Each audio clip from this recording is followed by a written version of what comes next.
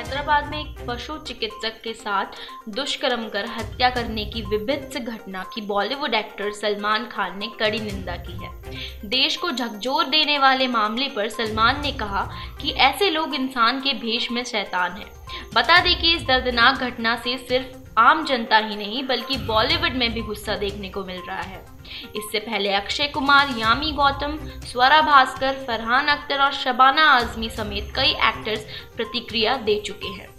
सलमान खान ने ट्विटर पर लिखा, ऐसे लोग इंसान के भेष में शैतान हैं। निर्भया और प्रियंका रेड्डी समेत वो मासूम महिलाएँ जो दर्द और हिंसा झेल रही हैं, उनके लिए हमें एकजुट होना होगा, ताकि ऐसे शैतानों पर रोक लगा सकें। इससे पहले कि ऐसा किसी और महिला के साथ हो, हम सभी को मिलकर इस कुकर्म के खिलाफ आवाज़ उठानी होगी भगवान प्रियंका की आत्मा को शांति दे। Hashtag justice for Priyanka Reddy.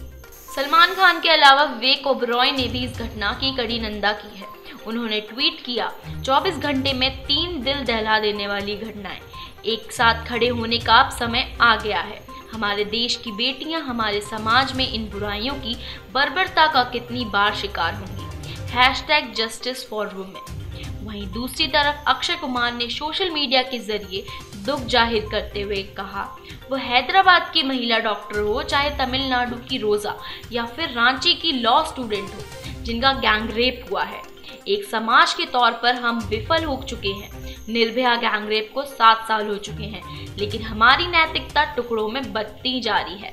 हमें सख्त से सख्त कानून की ज़रूरत है। ये सब जल्द खत्म होना चाहिए।